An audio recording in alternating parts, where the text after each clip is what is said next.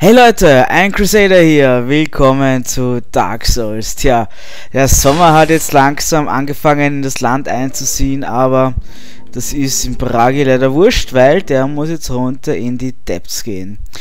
Das letzte Mal war das leider ein kleiner Fail. Ich habe zwar den Capra-Demo ziemlich schnell fertig gemacht, dafür war das halt dann eher eine beschwerliche Reise runter. So, ich schaue jetzt nochmal schnell. Aha, aha, aha. Fast alles Fast Roll, ja. Da haben wir schon wieder ein Blut. Warum ist da ein Blutfleck? Wer bringt, wer schafft sich im Feierungsschein umzubringen? Schon, was hat der gemacht? Okay. Ich glaube, der das. Okay. Was? Von wem ist der erstochen worden? Normalerweise PvP ist da, glaube ich, nicht möglich, soweit ich mich erinnern kann. Wahrscheinlich war das einfach nur ein Spiel lustig, weil man sich glaubt, ha, ich greife den NPC an. Man, man, man, kann das natürlich machen, ganz am Anfang, gleich am Anfang. Äh, nur wenn man ein Spieler ist, wird äh, der NPC einen wahrscheinlich umbringen, ohne größere Probleme. Naja. The more you know. Hui, und Backstab ist es nicht schön. Da hinten scheint auch die Sonne. Das bringt nichts. Wow. Nope, das war keiner. Ah, egal. Wenn wir dann weiter unten sind, bei den... Oh, nein, jetzt brenne ich ein bisschen. Ui, das geht auch in einen Schlag. Shots haben wir bekommen. Toll. Na, ich werde auf jeden Fall gleich einmal die Magic Weapon dann ausprobieren, sobald wir in den Depths sind. Einfach nur, weil ich dann vielleicht diesen Slime-Viechern auch mehr Schaden mache und die muss ich irgendwie baiten, dass die runterspringen und mich nicht so wie beim letzten Mal, wo ich es fast geschafft habe, dass die mich dann abholen. Das war natürlich nicht so toll. Als ich dann schon bei der Rate da nachher gestorben bin, Gott sei Dank nicht gecursed worden bin, muss man eh sagen, aber ja, okay. Hast du was lassen? Na, die ist durch den, durch den Raum geflogen, weil sie es nicht mag. Keine Ahnung. Na egal. Rennen wir weiter. Gut, ähm, ich habe jetzt den Schlüssel schon bekommen, weil er war es jetzt mal bei dieser fetten Ratte, die wir umgebracht haben. Da kann man oben einen Schlüssel finden, mit dem man einen Bonfire in den Depths freischalten kann. Also freischalten, damit man die Tür öffnen kann. Weil normalerweise ist es nicht da und natürlich ist es äh, dementsprechend hilfreich, wenn man diesen ganzen Weg vom Fire Shrine durch die Undead Burg wieder runterrennen muss bis in Depths. Da wird man alt und grau, bevor man irgendwas gemacht hat. Überhaupt, wenn man mal, okay, wenn man mal gecursed ist, ist das sicher irgendwie ganz lustig, weil da kann man schneller sich wieder ähm, Sachen kaufen, wenn man nicht gecursed ist. spätestens, wenn man dann runter nach Blighttown will, ist das Ganze Wow, eine ewige Tattoo, ein ewiger Marsch. Warum gehe ich eigentlich gerade dahin? Da muss ich ja gar nicht hin. Ah, okay. Ah, ein bisschen verwirrt. Zack. Zap, zap, das war's mit dir. Genau. Und jetzt da vorne ist natürlich die Tür, wo wir rein wollen. Wenn wir schauen. Also gut, ja, jetzt ist es wieder Standard. Jetzt kommen die 1000 Gegner, wo man aufpassen muss, man die alle... Ah, nehmen wir den, den normalen Soul Arrow, genau. Und die Gegner einfach alle nach Reihe nach gemütlich umbringen muss, sicherheitshalber. Ah, der schon her. Das ist eben das Problem, wenn man, also wenn er jetzt von oben hergerannt wäre, hätte ich ihn wahrscheinlich getroffen. Aber da ich oben stehe und runterschießen muss, äh, wird dann wahrscheinlich der, weil das ein bisschen verzögert ist, natürlich das Geschoss wegfliegt, ähm, dauert das und der wird einfach über ihn drüber fliegen. Das ist natürlich nicht das Ideale, was wir wollen. Hui, da hinten ist, was ist das? Man findet immer Sachen, die man vergessen hat, wenn man, schnell zum Bonfire will. So, was ist das? Oh, ein Soul of a Nameless Soldier, okay. Der arme, namenlose Soldat. Ehren wir ihn, indem wir jetzt die ganzen anderen Hollowed Epis töten und dann es vielleicht sogar zum Bonfire schaffen. Und der geht langsam, den erwischen wir. Bam! Yeah. Der nächste. Und, und der nächste. Ah, ein bisschen, ein bisschen bewegen sie sich ja schon, aber halt das Horizontale ist nicht so das wirkliche. Das Waagerecht, da geht's. Oh, na, habe ich jetzt ein Blödsinn geredet? Ah, passt schon. Ha, im Sprung sogar. Aber das machen wir jetzt nicht. Kommt ganz normal die Axt. Okay. Eigentlich muss ich da durchgehen, aber das kann, das kann doch auch komplett wurscht sein. Ja. So. Warum kämpfe ich mich da immer durch? Na gut, so, jetzt wird es natürlich interessant. So, lieber mal vollheilen, jetzt kommen die fetten Viecher. Naja. Na, gehen wir mal, schauen wir, wie wir das schaffen ist einer noch, der wird schnell, zack, stochen, so. Draußen scheint die Sonne da unten brennen die Fackeln, so ist das. Naja, können wir nichts machen. So, und jetzt wird es gar nicht da oben. Diese ganzen grauslichen Blobs. Ich renne jetzt einfach nicht durch, sondern genau. Ich gehe langsam. Hu, hu, hu, genau, jetzt, jetzt, jetzt. Jetzt habe ich gesagt, ich probiere das aus. Und ich habe vergessen, so kann ich das natürlich nicht tun. Oh, habe ich nicht. Ich habe sicher noch einen Cataclysm, ja. Los. Magic Weapon on. Vielleicht macht man den mehr Schaden, mit Physical Damage macht man diesen Dingen, glaube ich, also ziemlich fast keinen Schaden. Oh, ein bisschen mehr ist auf jeden Fall. Ich meine, sie haben auch nur eine wirkliche Attacke, die irgendwie gefällig werden kann, aber wenn sie von da oben runterfallen und hey, man passt nicht auf. Oh, jetzt sind sie einfach so runtergefallen. Probieren wir aus ein Soul Arrow, ob das mehr Schaden macht. Auch nicht. Passt. Ja, die sind einfach na, ah, jetzt habe ich Magic Weapon, ist es nicht mehr. Okay, wir haben, ich glaube, 32 Schaden gemacht, haben wir 22. Also sind ungefähr 10 bis 14 mehr.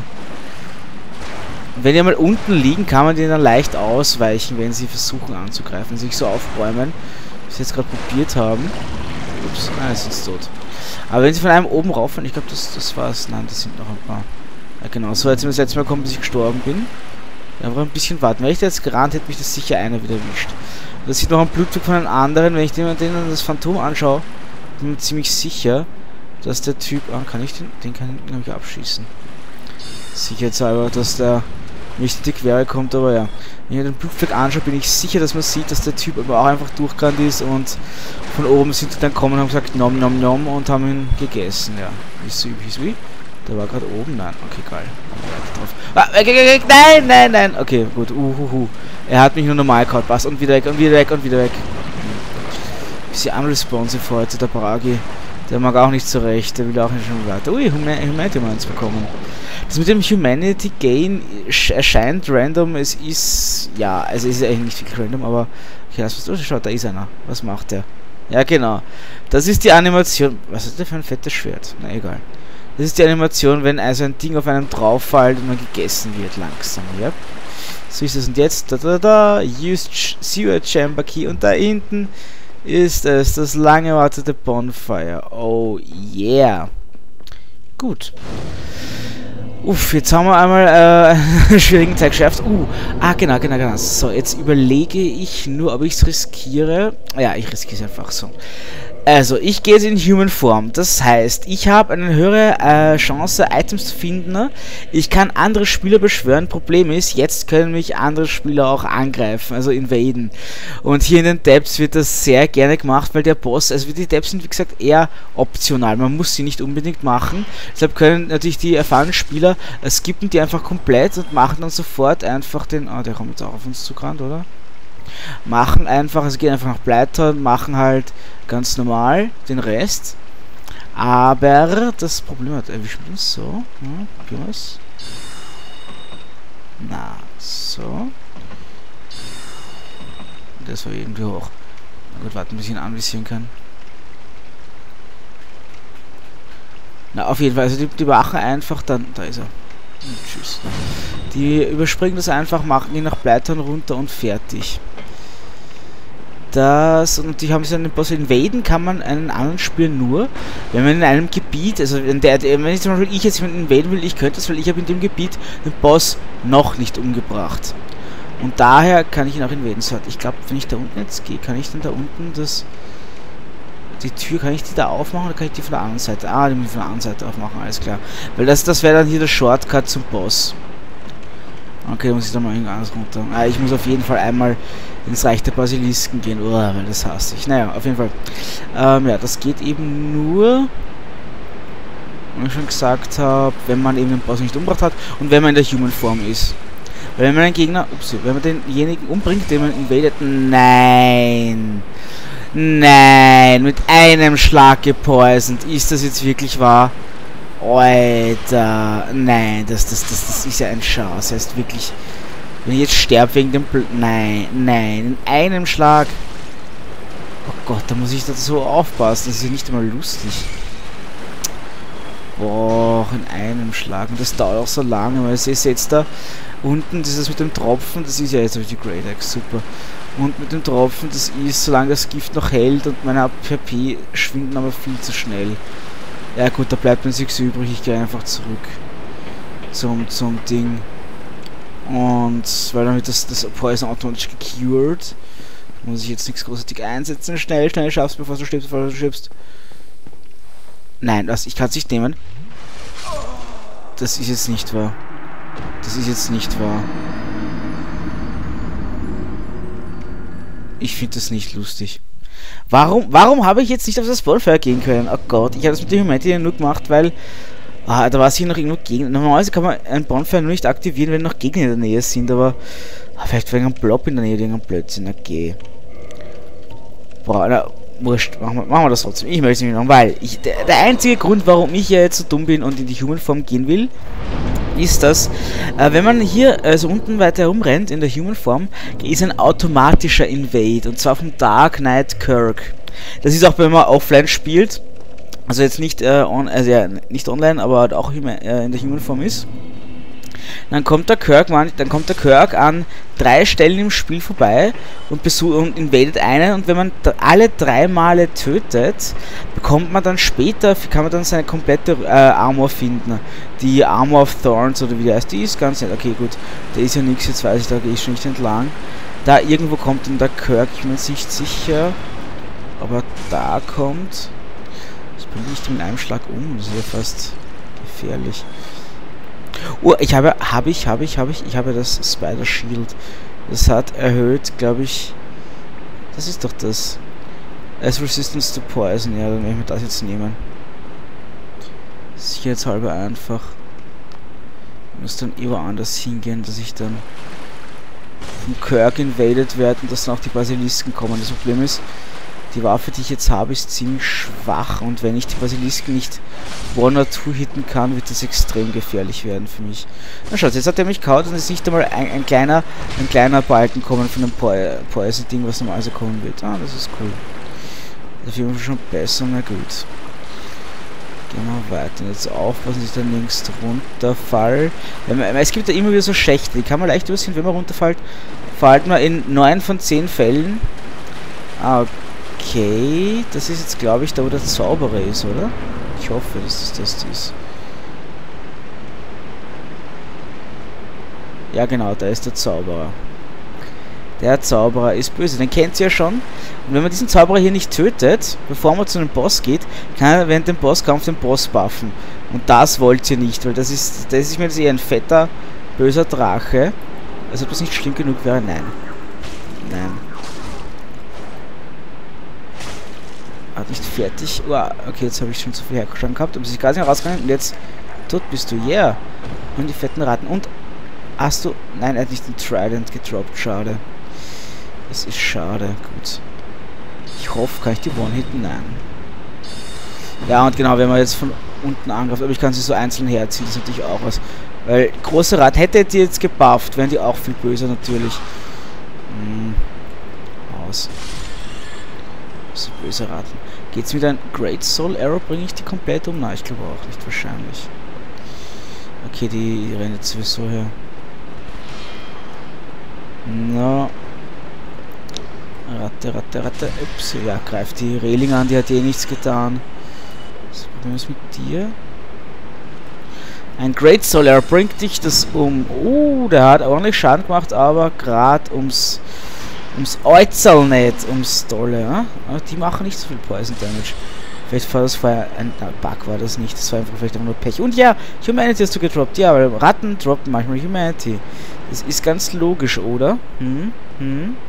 So, jetzt gehen wir da hinten Da hinten liegt auch noch ein paar Sachen. Gut, jetzt haben wir, wie gesagt, und der, der Zauberer ist genau wie in Undead Parish, der respawnt nicht, Gott sei Dank.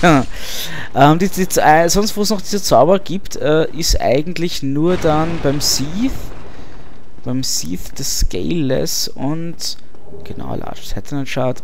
Und dort, ja, da ist aber okay. Da unten sieht man schon die Boss-Arena. Da werden wir dann kämpfen.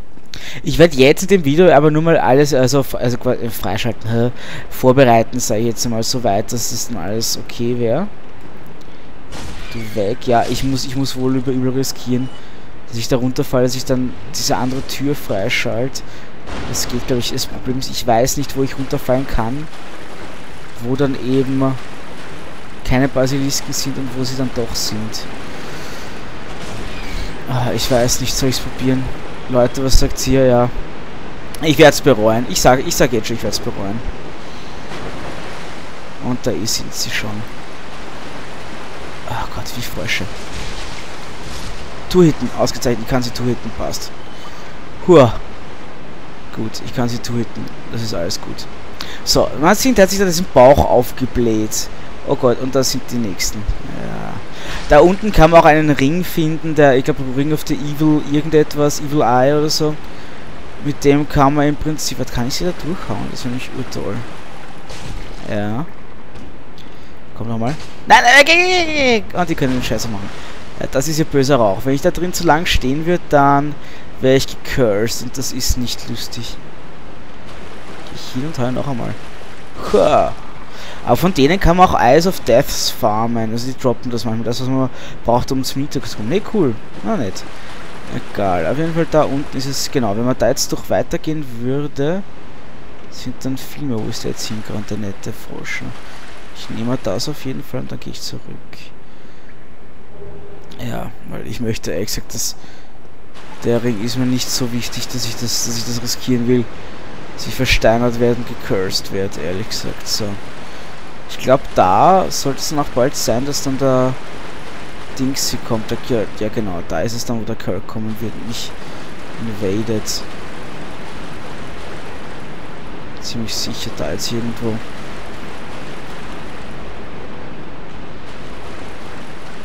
Da kommt aus der Box wieder raus, oder? Nein! Von der anderen Seite. Ratten. Gott, hau sie einfach. Und nochmal. Ja, genau. Da haben wir es jetzt. Oh Gott. Da. Dark Knight Kurt invaded. Und er kann bekommen als Begrüßung gleich einmal ein Backstab. Ja, also wie gesagt, das ist geskriptet vom Spiel her. Der Kirk, der ist ein Charakter. Und man kann ihn eben dreimal besiegen, wenn man dreimal umbringt. Man kann aber dann auch die Chance während den drei Encounters, dass man sein Schild oder sein Schwert droppt. Aber sonst bekommt man, wenn man dann dreimal wirklich umbringt, eben den ähm, ersten Rüstung. Und man kann ihn nicht immer umbringen, das heißt, wenn ihr jetzt quasi schon da in der Gegend fertig seid, dann habt ihr Pech, dann wird er nicht mehr spawnen. Der spawnt nur, wenn man jeweils hier, hier in den Depths, oh, oh, ah, ah, ah, äh, wenn man hier in den Depths die, ähm, den, den, den Gaping Dragon nicht umgebracht hat und beziehungsweise dann später taucht er auf in den Demon Ruins da darf man natürlich den Fire Sage Demon noch nicht umgebracht haben. Oder, na, na, Fire Sage oder der Centipede, ich bin mir nicht sicher. Und dann in Lost Isolith kommt. Lost, ja, mm, mm, mm, doch in Lost Isolith kommt auch noch einmal. Also der, der, hat eben mit der Storyline von den, ähm, von der Witch of Isolith und ihren Töchtern und so zu tun. Aber da kommen wir später noch hin. So, gut, jetzt habe ich eigentlich das gemacht, was ich machen wollte. Das ist also quasi ein Hauptgrund, da Anführungszeichen. Das nächste, was ich machen will, ist jetzt die eine Tür freischalten, dass wir dann zum Bosskampf schnell kommen. Ich glaube, ja genau, passt, da bin ich hier richtig, super. Da ist wieder so ein Blob, der interessiert uns aber nicht, das sind ein paar Ratten. Da ist wieder ein Blob. Und da sehen wir auch gerade ein Phantom, das kämpft, von, also ein, einen anderen Spieler. Ah, den haben wir nur kurz gesehen, okay. Ah, da sitzt auch der Lustige, der, der von In Downwall of Senna, genau. Genau, ja, da kann man halt lustige Sachen kaufen. Goldpen Racing habe ich noch ein bisschen. Die Crystal, so Crystal-Geschichten. Das Problem ist, die sind ziemlich stark, aber die, man kann sich reparieren, sie haben eine ziemlich geringe Haltbarkeit, wenn man das so sieht. So. Und man kann aber seine Sachen, die sind, haben ziemlich gute Curse Resistance. Da seht ihr 18, 24, okay gut, 4, 5, 18 sind ziemlich gut, wenn man dann Seath äh, bekämpft und man hat sonst nichts Hohes, was gute Cursed Resistance hat. Aber die sind ganz gut, da kann ich mir jetzt eigentlich nur den, den lustigen Hut leisten und der ist mir aber viel zu schwer und eigentlich auch eher wurscht. Passt. So. Gut, na komm, Ratti. Ratti Gusta. Klick, Gluck. Na, Blob ist mir wurscht. So, wo ist der Aufgang? Der Aufgang ist da, genau da hinten ist er. Jetzt machen wir das gleich auf.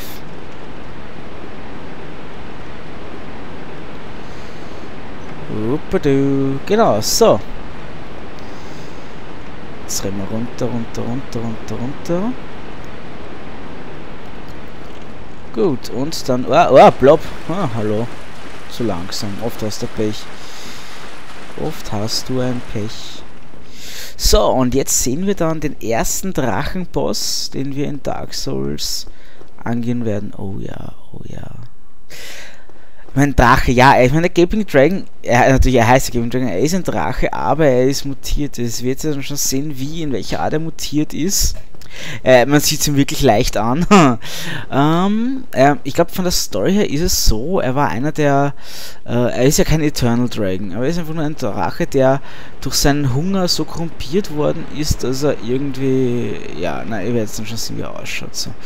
Ich glaube, da liegt irgendwas, liegt nichts. Ah, genau, ich glaube, man könnte hier theoretisch äh, den Law Track und den soll er eher beschwören als Hilfe.